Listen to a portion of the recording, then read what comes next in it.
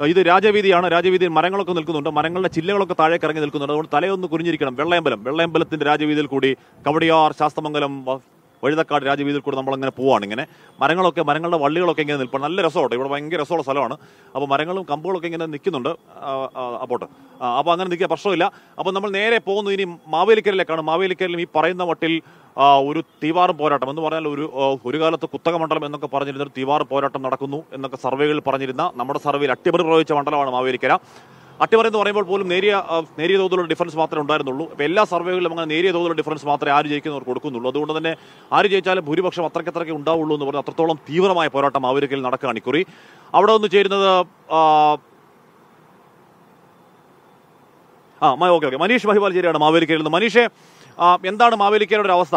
മാവേലിക്കരയിൽ നമ്മൾ ആ, എന്താണ് തുടർ തുടർ തുടർ വിജയങ്ങൾ കണ്ട സ്ഥലമാണ് മാവേലിക്കര. നമ്മുടെ സർവേയിൽ അടക്കം മറിച്ചൊരു ഒരു കാര്യം അവിടെ പ്രവചിക്കുന്നുണ്ട്.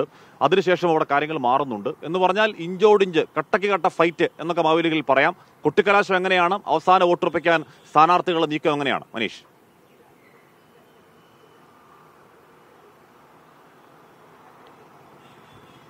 ഹാഷ്മി നാടടച്ചുള്ള പ്രചരണമായിരുന്നു മൂന്ന് മുന്നണികളും നടത്തിയത്. ബി ജെ പി ഒരു ത്രികോണ മത്സരത്തിന് ശ്രമിച്ചുവെങ്കിലും പൂർണ തോതിലേക്ക് ബി ജെ പിക്ക് അങ്ങനെ ഒരു നിലയിലേക്ക് എത്താൻ സാധിച്ചില്ല. പക്ഷേ എൽ ഡി എഫ് ഉയർത്തിയത് വലിയ വെല്ലുവിളിയാണ്. നമ്മളുടെ സർവേയിൽ പറയുന്ന പോലെ സി എ അരുൺകുമാർ എന്ന പുതിയ മുഖം ഒരു പുതുമുഖത്തെ അവിടെ എത്തിച്ചുകൊണ്ട് വലിയ ആരോഗ്യകരമായ ഒരു മത്സരം കാഴ്ചവെക്കാൻ എൽ ഡി എഫിന് കഴിഞ്ഞു.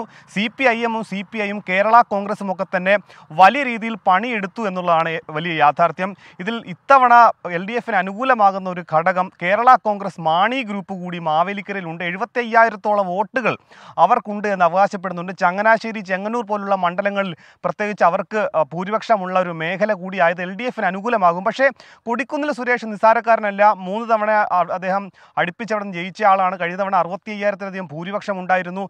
മണ്ഡലത്തിലെ ഏത് കോർണറിലും എപ്പോൾ വിളിച്ചാലും വിളിപ്പുറത്തുള്ള ആളാണ്. അതുകൊണ്ട് തന്നെ കൊടിക്കുന്നിൽ സുരേഷിനെ പരാജയപ്പെടുത്തുക പോലും അത് ഒരു ഒരു വലിയ ഭഗീരഥ പ്രയത്നമാണ്. ഞാൻ നിലവിൽ നിൽക്കുന്നത് ആലപ്പുഴ കുട്ടനാട് അതായത് മാവേലിക്കര മണ്ഡലത്തിന്റെ കുട്ടനാട് ഭാഗത്ത് കൈനഗരിയിലാണ്. ഇവിടെ കൃഷി കഴിഞ്ഞ് ഉഴുതു മറിച്ചിട്ട ഒരു നെൽവയലാണിത് ഇനിയിപ്പോൾ അടുത്ത ഘട്ടത്തിൽ ഇനി ഇവിടെ വെള്ളം നിറച്ച് പിന്നീട് രണ്ടാം കൃഷി തുടങ്ങും. ഞാൻ പറഞ്ഞത് ഈ ഈ നെൽവയലടക്കമുള്ള വിഷയങ്ങൾ ഇവിടെ ചർച്ചയാണ്. ഈ നെൽവയലിന്റെ നെല്ലിന്റെ വില കർഷകരുടെ ദുരിതം കർഷക ആത്മഹത്യ. ഈ ഒരു വർഷത്തിനിടയിൽ തന്നെ മാവേലിക്കര മണ്ഡലത്തിൽ മാത്രം രണ്ട് കർഷകരാണ് ആത്മഹത്യ ചെയ്തത്. അങ്ങനെ കുട്ടനാട് പാക്കേജ് എന്തുകൊണ്ട് നടപ്പിലാക്കിയില്ല? അത്തരത്തിൽ പദ്ധതികൾ വലിയ ബഹുമുഖ പദ്ധതികൾ മാവേലിക്കര മണ്ഡലത്തിലില്ല. ശബരിമല തീർത്ഥാടന കേന്ദ്രത്തിന്റെ പ്രധാന ഇടത്താവളമായ ചെങ്ങന്നൂർ റെയിൽവേ സ്റ്റേഷന്റെ വികസനമില്ലായ്മ ഒരു ചെറിയ മഴ പെയ്താൽ അവിടെ വെള്ളം നിറയുന്ന സാഹചര്യം. ഇതൊക്കെ തന്നെ മണ്ഡലത്തിൽ എൽ ഡി എഫും എൽ ഡി എഫും എൻ ഡി എയും ഉയർത്തിക്കാട്ടുന്നുണ്ട്. ഒരു പ്രചരണ വിഷയമായി തന്നെ. പക്ഷേ കൊടിക്കുന്നിൽ സുരേഷ് അതിനെ ഒക്കെ തന്നെ മറികടക്കുന്നത് അതിന് സംസ്ഥാന സർക്കാരിന്റെയോ കേന്ദ്ര സർക്കാരിന്റെയോ സഹായം തനിക്ക് ലഭിക്കുന്നില്ല എന്ന ഒരു വാദം ഉയർത്തിക്കൊണ്ടാണ്. അങ്ങനെ വാദപ്രതിവാദങ്ങൾ നടക്കുന്ന ഏറ്റവും ശ്രദ്ധേയമായ കാര്യം സംസ്ഥാനത്ത് ഇതുവരെയും യാതൊരു തരത്തിലെ വിവാദവും നടക്കാത്തൊരു മണ്ഡലമാണ്.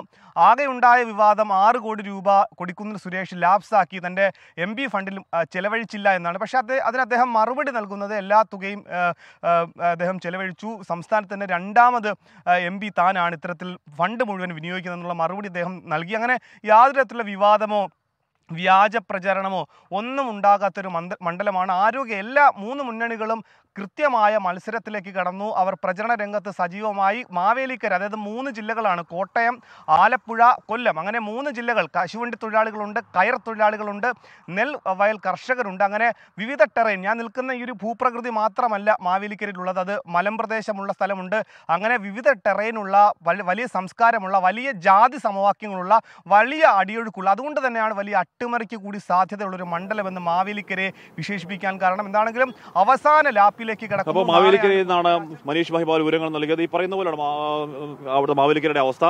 പ്രേക്ഷകരെ നമ്മുടെ ഡബിൾ ഡക്കർ യാത്ര ഡബിൾ ഡക്കർ റോഡ് ഷോ അങ്ങനെ തുടരുകയാണ് അങ്ങോട്ട് പ്രിയപ്പെട്ട പ്രേക്ഷകർക്കായുള്ള മോർണിംഗ് ഷോ ഇതാ കാണുന്ന അയ്യങ്കാളിയുടെ പ്രതിമയാണ് മഹാത്മാ അയ്യങ്കാളി.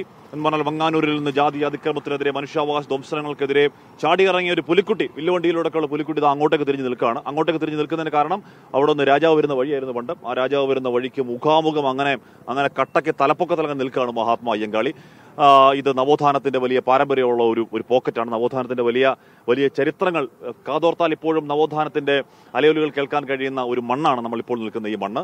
ലോകത്തെവിടെയായാലും ഏത് സമയത്തും ട്വന്റി ഫോർ വാർത്തകളും ഓഗ്മെന്റഡ് റിയാലിറ്റി പാക്കേജുകളും എക്സ്പ്ലെയിനറുകളും വിശദമായി കാണാൻ ഞങ്ങളുടെ യൂട്യൂബ് ചാനൽ നിങ്ങൾക്ക് സബ്സ്ക്രൈബ് ചെയ്യാം.